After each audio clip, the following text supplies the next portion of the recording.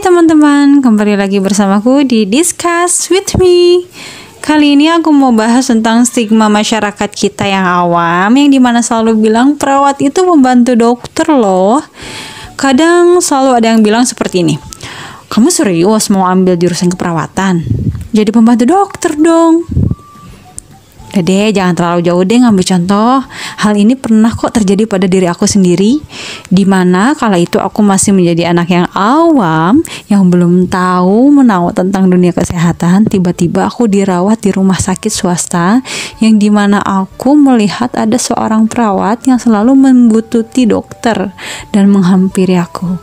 Setelah itu, perawat memberikan obat kepadaku dan aku sebagai manusia yang awam kala itu bilang deh pada diri aku sendiri lah kok enak banget ya jadi perawat? Kerjaannya cuman disuruh dokter aja terus cuman kasih obat ke aku sama ganti cairan infus aja. Dan ternyata pikiranku yang dulu itu sangatlah salah besar setelah aku terjun di dunia kesehatan dan sebagai perawat, hello, perawat itu bukan pembantu dokter loh.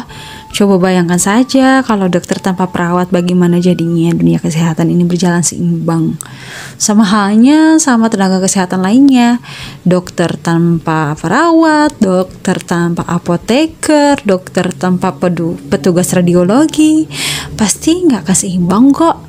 Sebenarnya kami itu adalah tim kesehatan, baik dokter, perawat, atau lainnya itu sangatlah berpengaruh satu sama lainnya.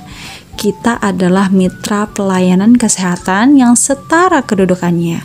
Gak ada yang tinggi ataupun yang rendah, semuanya sama rata dalam bidang pelayanan kesehatan. Nah, agar kalian tidak beranggapan bahwa perawat itu pembantu dokter dan hanya merawat pasien saja, kalian harus memahami terlebih dahulu peran seorang perawat terhadap pasien itu apa saja sih. Yuk simak videoku ya.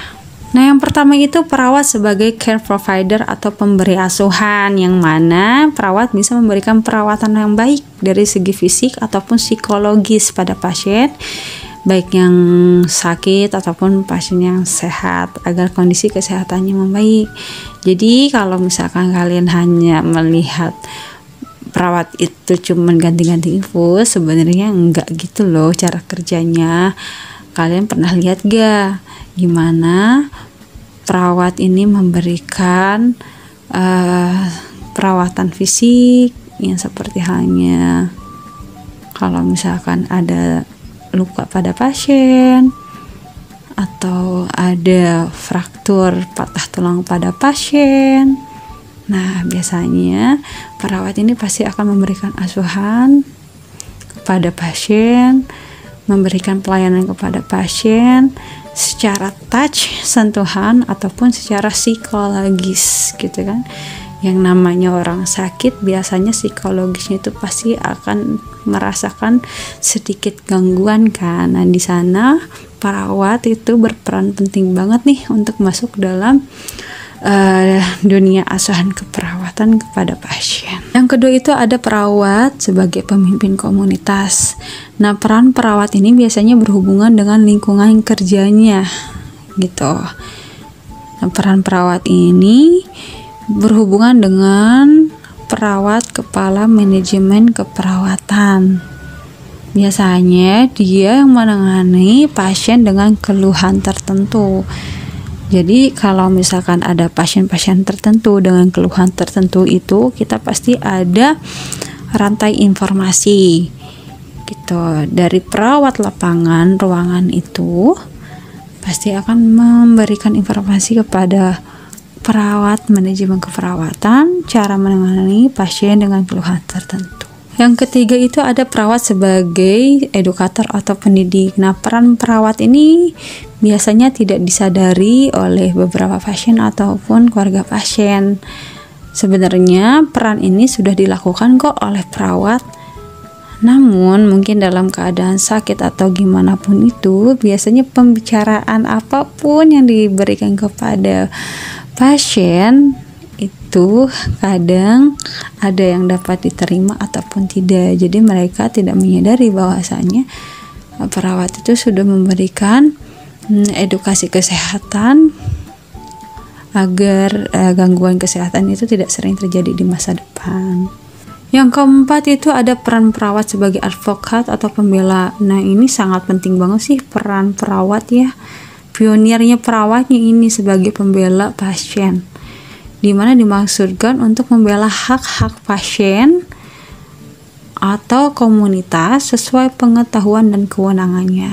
Nah, perawat ini diposisikan menjadi pembela pasien karena dia yang jadi jembatan atau penghubung antara pasien dengan dokter ataupun dengan tenaga kesehatan lainnya untuk menyampaikan kondisi pasien yang terkini dan untuk menyampaikan pendapat tentang perawatan yang diberikan yang harusnya diberikan kepada pasien untuk menunjang kesehatan pada pasien.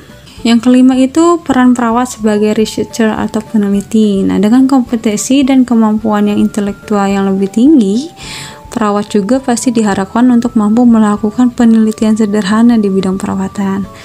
Perawat sebisa mungkin harus mengembangkan ide dan rasa ingin tahu serta kerap ingin selalu mencari jawaban terhadap fenomena yang terjadi baik pada pasien yang dia rawat ataupun komunitas tempat dia bekerja. Jadi di sini peran perawat itu sebisa mungkin harus mempunyai rasa ingin tahu yang apa yang terjadi pada pasien yang dia rawat sehingga dia bisa menentukan apa saja nih asuhan keperawatan yang akan kita berikan kepada pasien yang dia kelola gitu.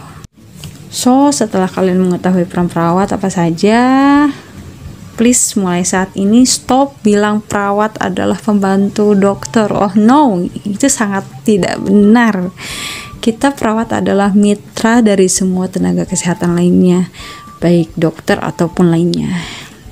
And thank you bagi yang sudah menonton video ini. Semoga bermanfaat bagi kalian semua ya. Nantikan videoku selanjutnya. See you. Salam sehat selalu.